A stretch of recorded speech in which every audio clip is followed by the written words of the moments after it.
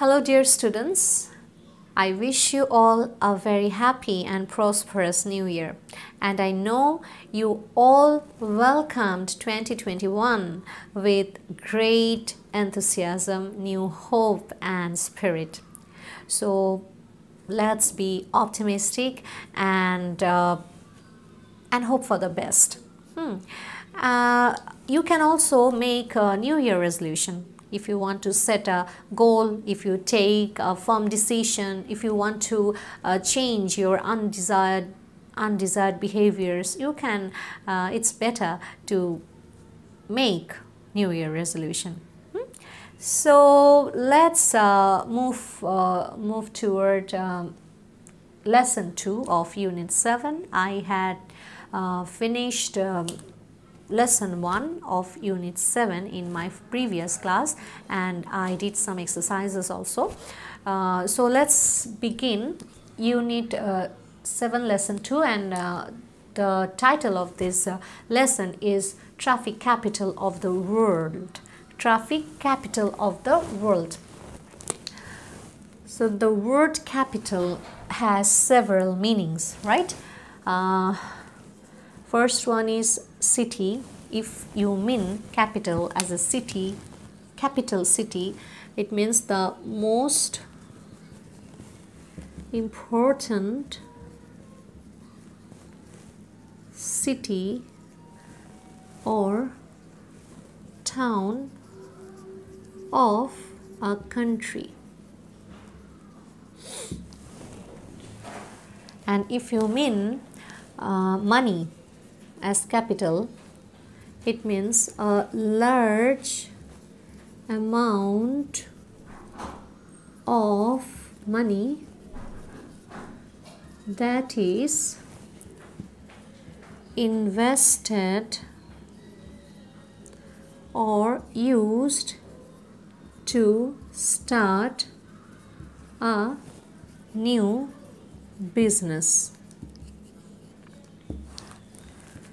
Thirdly, uh, letter.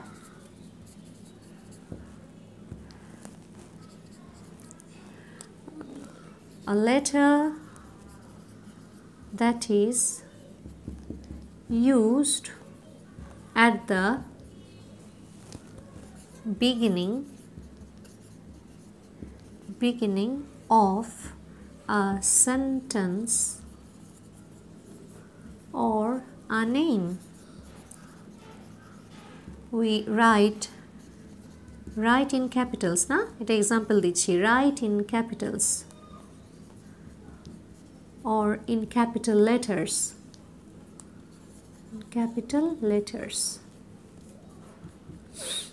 Write in capitals or capital letter তাহলে যখন city বোঝাই the most important city or town of a country যেখান থেকে সমস্ত important কাজগুলো অপারেট হয় অপারেট করা হয়। Money a large amount of money যেটা আমরা ব্যবসায়, মূলধন বা পুঁজি বলতে বোঝাই। A large amount of money that is invested or use to start a new business a letter capital letter না? বিগিনিংয়ে beginning a letter that is used at the beginning of a sentence or a name নামে, নাম লিখি আমরা ক্যাপিটালে এবং প্রথম অক্ষটা capital লেটারে লিখি। Beginning বানানটা ভুল করবে না ডবল এন থাকে বিগিনিংয়ে সো আমাদের এই চ্যাপ্টারটা ট্রাফিক ক্যাপিটাল আমাদের ক্যাপিটাল সিটি ঢাকাকে নিয়েই তিনশো ছয় বর্গ কিলোমিটারের কিলোমিটার আয়তনের ঢাকা, যেখানে প্রতি বর্গ কিলোমিটারে তেইশ হাজার মানুষের বসবাস এবং এই মহানগরীর জনসংখ্যা দুই কোটি দশ লক্ষ। জনসংখ্যার বিচারে সাউথ এশিয়ায় দক্ষিণ এশিয়ায় এটি দ্বিতীয় বৃহত্তম শহর দিল্লির পরেই এর অবস্থান। সো মানুষ, কর্মসংস্থান, জীবিকা, হুম, এবং অপরচুনিটিস সুযোগ, ভালো সুযোগ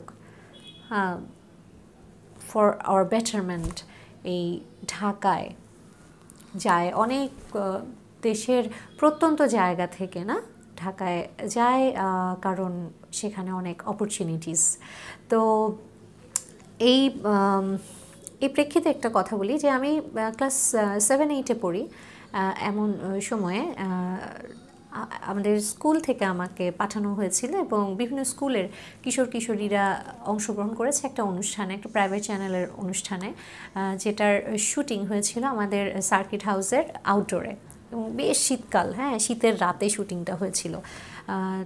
তো সেখানে একটা আমাদের টপিকটা ছিল এমন যে ঢাকা থেকে চট্টগ্রাম কেন পিছিয়ে? কতটা পিছিয়ে? ঢাকা থেকে চট্টগ্রাম কতটা পিছিয়ে? তো বিভিন্ন বিভিন্ন রকম পয়েন্টস উঠে আসছিল। আমি আসলে ওখানে অভিজ্ঞতা সঞ্চয় করতে গিয়েছিলাম। কিছু মানে কিছু বলার চাইতে আমার অভিজ্ঞতাটা ওখানে যে সবাই বলছে এবং এরকম একটা প্রোগ্রামে অ্যাটেন্ড করেছি তখন তো ছোট। আর তেমন একটা বলা মানে সাহস করে কিছু বলতে পারছিলাম না। তো একটা পর্যায়ে আমার মাথায় এলো যে যখন আমরা ঢাকা থেকে চট্টগ্রামে নামি বা যে কোনো ছোট শহরে নামি, প্রথমেই রাস্তাগুলো দেখে বোঝা যায় আসলে রাজধানীর সাথে পার্থক্যটা। যে আমাদের শহরের রাস্তাগুলো অনেকটাই ন্যারো আর ঢাকার রাস্তাগুলো অনেক স্পেশিয়াস হুম? এবার হাই রাইজ বিল্ডিং অনেক বেশি। তো আমি এই পয়েন্টসটাই বলেছিলাম, পরে বাসায় এসে ভাবলাম আর আরে আরও কিছু বলা যেত।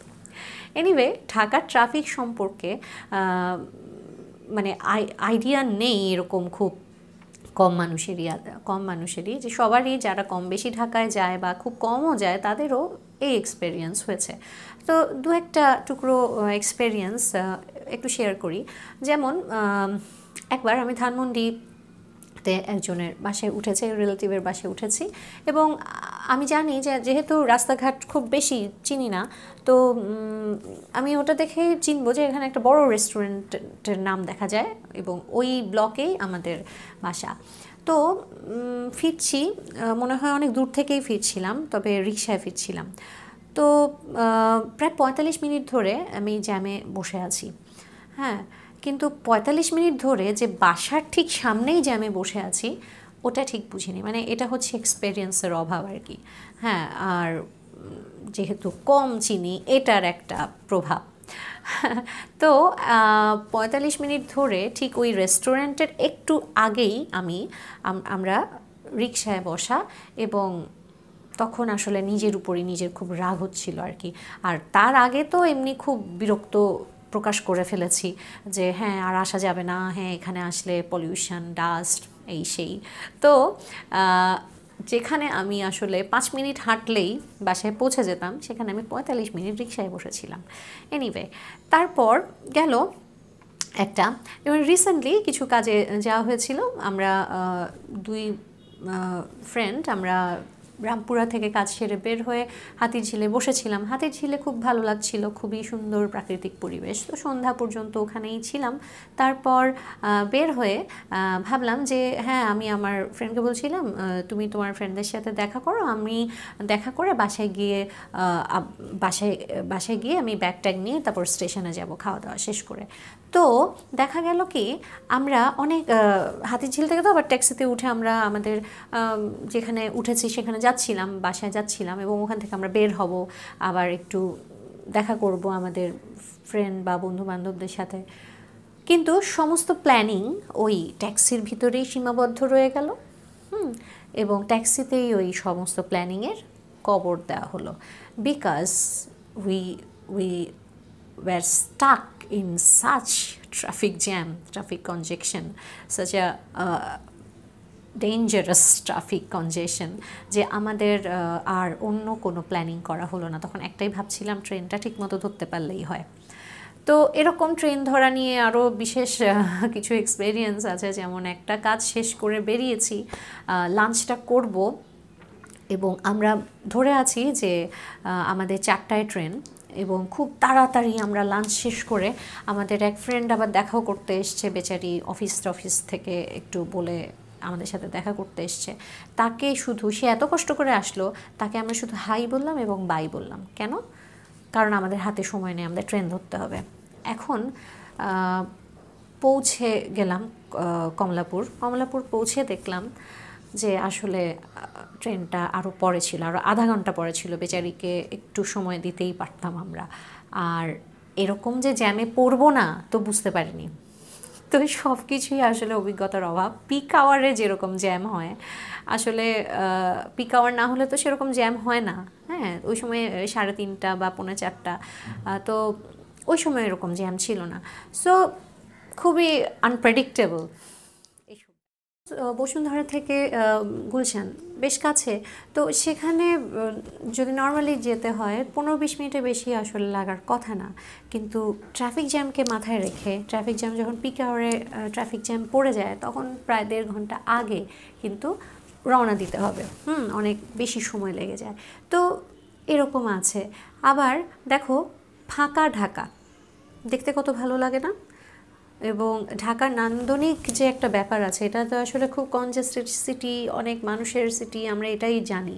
তো এর একটা যে নান্দনিকতাও আছে, এটা অনেক ধরা পড়ে ঈদের সময় যখন ঢাকা একদম ফাঁকা থাকে। না? আসলে তো মানে সব সমস্যা থেকে উত্তরণের আমাদের নানা রকম প্রচেষ্টা চলছে। এই যে ফ্লাইওভারগুলো ইট রিয়েলি লুকস লুক্রেটিভ এবং রাতে তো ভীষণ সুন্দর লাগে। হুম মানে আসলে যে আমাদের রোড প্ল্যানিং এগুলোর কিন্তু অনেক রকমই উন্নতি হচ্ছে এবং হবে, সামনে মেট্রো রেল হবে অনেক কিছুই। তো সো এই দিক থেকেও আমরা অপটিমিস্টিক হতে পারি এবং আমাদের দেশটাই তো অনেক কষ্টে পাওয়া, বাংলাদেশে মানুষও বেশ কষ্ট সহিষ্ণু তো যে কোনো কিছু কষ্টের পর আবার পাওয়ার মধ্যেও একরকম আনন্দ আছে। So let's begin the chapter প্রথমেই ওয়ার্ম ওয়ার্ম আপ অ্যাক্টিভিটিস আছে। বলছে in a small group ask each other this questions and write down your answers hmm what do you think of traffic jams in our cities so এই প্রশ্নগুলো, দেখো what are the reason for the traffic jams hmm how would a foreigner feel about our traffic system বলছে, একটু গ্রুপে আলোচনা করো। তো তোমরা এটা ডায়ালগ আকারে লিখতে পারবে যে, মনে করো, কোনো ফ্রেন্ডকে তুমি বলছো hey ha hello why are you looking so upset you are looking so tired so তোমার ফ্রেন্ড আপস তোমাকে অ্যান্সার দিল যে I was stuck in traffic jam and I I I am really exhausted তো পরে একজন জিজ্ঞেস করল যে, আসলে আমাদের এই ট্রাফিক জ্যাম নিয়ে তোমার কি ভাবনা? হুম, তো তুমি অ্যান্সার দিলে যে it's a great problem for us it it it made our life inactive hmm and this problem is increasing day by day নানানভাবে অ্যান্সার করা যায়। তারপর it kills our valuable time তারপর পরের প্রশ্নটা অনুযায়ী তুমি যদি অ্যান্সার করতে চাও, আরেকজন ফ্রেন্ড বলল, এভাবে ডায়ালগ আকারে তুমি লিখতে পারো। যে what are the reasons for the traffic jam yes there are many reasons the mostly the main reason is the overpopulation of our country hmm তারপর how would a foreigner feel about our traffic system এখন একটা foreigner তো স্বাভাবিকভাবেই he will be disappointed because উন্নত দেশগুলোতে তো আমাদের traffic সিস্টেমগুলো অনেক ভালো হয়, অনেক সিস্টেমেটিক হয়, হুম? নিয়মের বাইরে কিছুই করা যায় না। পেনাল্টি দিতে হয়। এই যে আমি আমার সেকেন্ড লেকচারটাতে জাপানের উদাহরণ দিয়েছিলাম। তো একটা রাস্তা পার হতে গেলেও কিন্তু অনেক নিয়মকানুন আছে। তো একবার এক ফরেন থেকে আসা এক ভদ্রলোক আমাদের মানে আমাদের সাথেই জার্নি করছিল। তো বাংলাদেশে এসেছেন। তো তিনি বলে উঠলেন যে যে বাংলাদেশের ড্রাইভাররা তো খুব, তিনি গ্রামের বাড়ির দিকে যাচ্ছিলেন হ্যাঁ? তো তিনি বলে উঠলেন যে বাংলাদেশের ড্রাইভাররা তো খুবই এক্সপার্ট দেখি। এখন সেখানে কিছুটা হিউমারাস টোন ছিল, কারণ আমাদের গ্রামের বাড়ির রাস্তাগুলো তো বেশ ভাঙা হয় মানে রাস্তা প্রায় রাস্তা সংস্কারের কাজ চলছে, আমাদের তো থাকেই। তো সে, তিনি বলে ওঠেন যে খুব এক্সপার্ট তো দেখি তো আসলে কিন্তু এত ন্যারো রাস্তা, ভাঙা রাস্তা, আবার আমাদের এখানে যখন ওয়াটার ক্লগিং হয়, এই রাস্তার উপর পানি, তার উপর আবার এই পানির উপরে কিন্তু ট্যাক্সিও চলছে। তো কত ধরনের দৃশ্য যে আসলে রাস্তায় দেখা যায়, তো যে কোনো কেউ দেশের বাইরে থেকে আসলে কিছুটা অবাক না হয়ে কিন্তু যাবে না।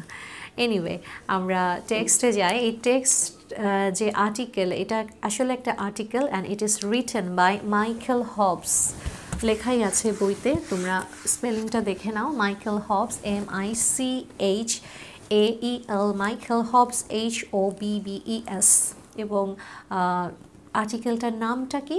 Welcome to the traffic capital of the world বিশ্বের সবচেয়ে বেশি যান চলাচলকারী রাজধানী হুম welcome to the traffic capital of the world এবং এই ব্যক্তি তার ঢাকা শহরে ট্রাফিক জ্যামেরই এক্সপেরিয়েন্স বলছে।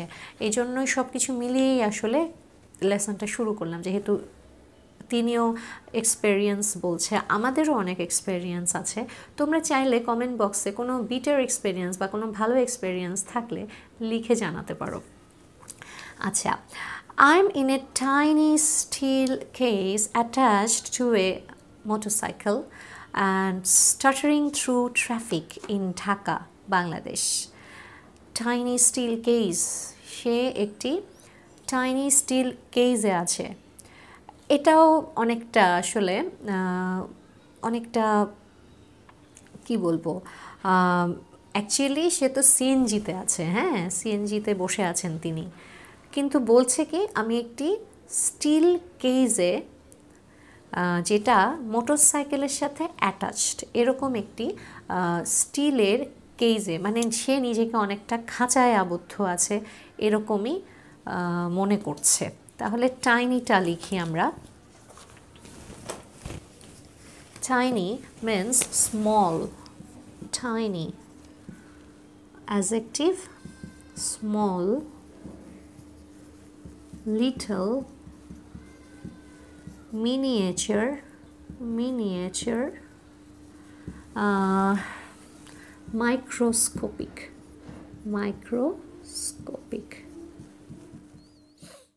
দেখো miniature M I N I A T U R E miniature microscopic micro M I C R O sco C S C O scopic P I C pic তারপরে দেখো তাহলে বলছে সে একটি ছোট স্টিলের খাঁচায় cage cage noun that means enclosure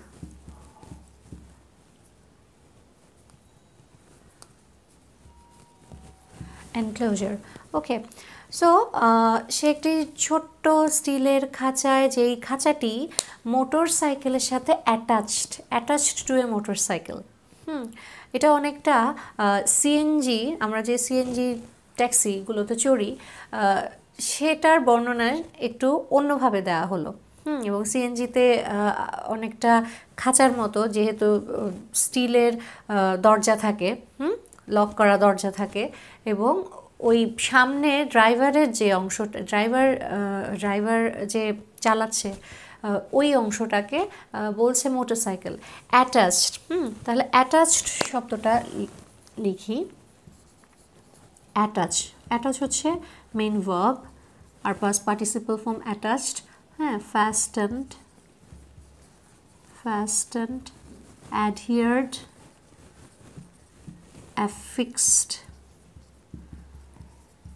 fastened adhere affixed um, attached uh, to a motorcycle আবার attached uh, আবার অ্যাজেক্টিভও হয়। Attachment noun hmm attached adjective কখন হয়? যখন বলা হয় যে please complete the attached form attached form please fill the attached form hmm তো সংযুক্ত আছে অলরেডি যেটা হুম অ্যাটাচড হুম ওকে তারপরে আসো। Motorcycle stuttering through traffic in Dhaka, Bangladesh. তাহলে একটু একটু করে সে চলছে স্টাটারিং ওকে স্টাটারিং যেটা থেমে থেমে চলা। Stutter stutter verb hmm stumble stumble stammer stammer falter starter. তাহলে কি বলছে যে, আমি ঢাকার, বাংলাদেশের ঢাকায় চলাচল করছি একটি ছোট স্টিলের খাঁচায় যেটা মোটরসাইকেলের সাথে আবদ্ধ এবং একটু একটু করে থমকে থমকে চলছি ঢাকার বাংলাদেশের ঢাকার রাস্তায়। কেমন? আচ্ছা তাহলে বলছিলাম স্টার্টার, না? স্টার্টার ওয়ার্ডটা বলছিলাম। সিনোনিমসগুলো দিলাম। এটার মিনিংটা দাঁড়ায় to move to move or start with difficulty or start with difficulty start with difficulty stammer আমরা স্ট্যামার বলি না স্ট্যামারিং যে একটু থেমে থেমে তোতলানো, যেটা থেমে থেমে কথা বলা স্ট্যামারিং স্ট্যামার স্টাম্বল এবং ভেহিকেলের ক্ষেত্রে ভেহিকেলের ক্ষেত্রে এটা বোঝায় যে আস্তে আস্তে থমকে থমকে চলাকে। হুম। তারপর through traffic in Dhaka Bangladesh. In the last ten minutes we have moved forward maybe three feet এই দশ মিনিটে আমরা মনে হয় তিন ফিট এগিয়ে গেছি। ইঞ্চ বাই ইঞ্চ হ্যাঁ ইঞ্চি ইঞ্চি করে তিন ফিট মনে হয় এগিয়ে যেতে পেরেছি। তার মানে চিন্তা করো, খুবই আসলে এটা খুব ধৈর্যের পরীক্ষা কিন্তু। হুম, যে অল্প অল্প করে এগিয়ে যাচ্ছে। এবং the driver wrenching the wheel left and right wrenching the wheel left and right wheel মানে চাকা এবং রেঞ্চ মানে কি? চাকাটাকে সে টুইস্ট করছে, বামে, ডানে ঘুরিয়ে কোনোভাবে টুইস্ট করে একটু একটু এগিয়ে নিয়ে যাওয়ার চেষ্টা করছে। তাহলে রেঞ্জটা লিখি।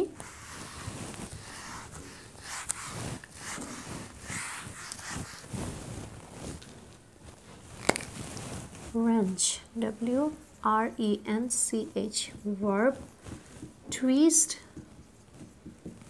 distort twist distort or হতে পারে um, uh, এটা মিনিংটা দাঁড়ায় এটা to pull to to pull or twist something to pull or twist something violently তাহলে টুইস্ট আর ডিস্টর্ট এই দুটো সিনোনিম হিসেবে দিলাম যে কোনোভাবে বাঁকিয়ে, কোনোভাবে পেঁচিয়ে যেভাবে পারে বাম ডান করে গাড়ির চাকাটাকে একটু একটু করে এগোনোর চেষ্টা করছে। তারপরে আছে কি? Wriggle wriggling deeper in the wedge between a delivery truck and a rickshaw in front of us. Wriggling, okay. তাহলে ডেলিভারি ট্রাক আর রিক্সার মাঝখানে যে জায়গাটা, সেই জায়গাটাতে ওই ন্যারো স্পেসে অনেকটা রিগল হ্যাঁ অনেকটা ক্রল করে যাওয়ার মতো, খুব ন্যারো স্পেসে ক্রল করে যাওয়ার মতো একটা ব্যবস্থা করতে চেষ্টা করছে আমাদের সিএনজিটা আচ্ছা তাহলে রিগলটা লিখি রিগলিং মেন ভার্ব হচ্ছে রিগল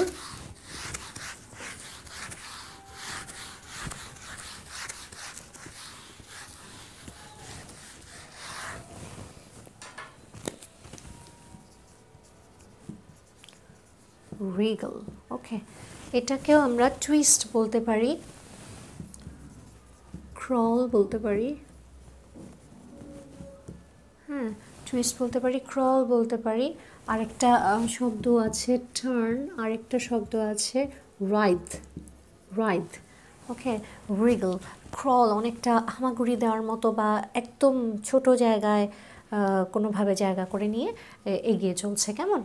আচ্ছা তারপরে হচ্ছে wriggling deeper into deeper into the wedge between a delivery truck and rickshaw দুটো গাড়ির মাঝখানে সিএনজির চাকাটা, হুম and rickshaw in front of us wedge মিনিংটা বলব, এটার একটু ডিফারেন্ট একটা মিনিংও আছে। আমি এটা মিনিংটা বলার আগে ওয়েজ আসলে কাকে বলে, দেখতে কেমন এটা একটু তোমাদেরকে দেখিয়ে দিই।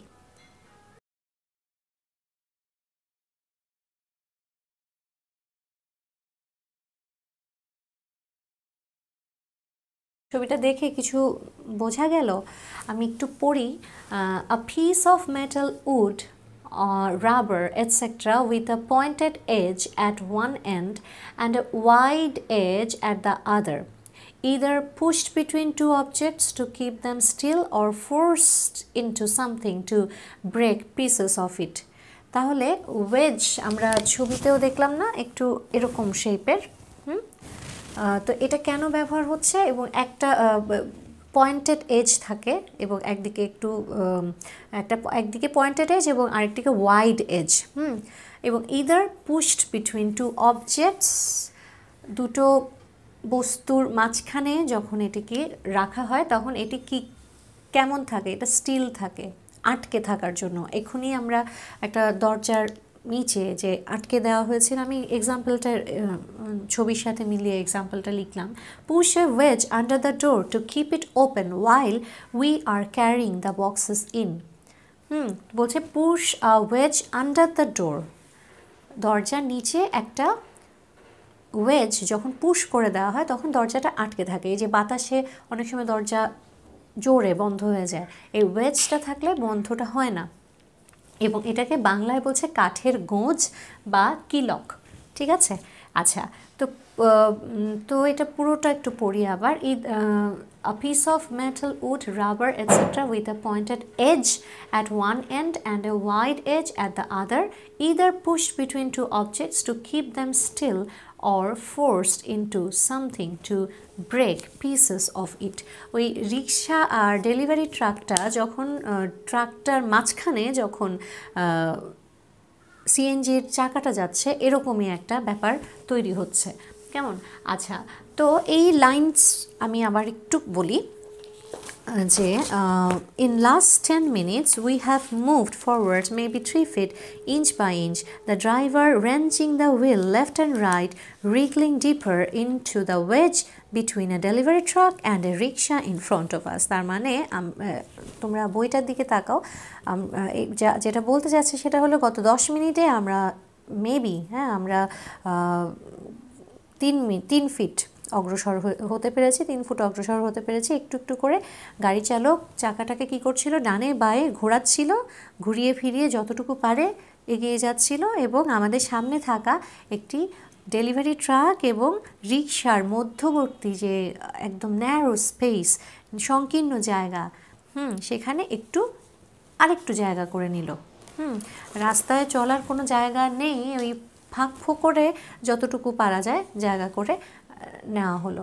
এবং তোমাদের বইতে দেখো, একটা বইয়ের পেছনে, এই চ্যাপ্টারটার পেছনে column A B column match the words in column A with their meanings in column B in the box below সেখানে মিনিংটা আছে force into a narrow space খুব ফোর্সফুলি ন্যারো স্পেসের মধ্য দিয়ে যখন যখন প্রবেশ করতে চাওয়া হয়। ওকে তাহলে এই চ্যাপ্টারটা শুরু করলাম আজকে হুম ফার্স্ট প্যারা পড়লাম ওয়ার্ম আপ অ্যাক্টিভিটিসগুলো তোমরা একটু নিজের ভাষায় লেখার চেষ্টা করবে so that's all for today and study well okay stay safe and hope for the best this new year. Bye bye.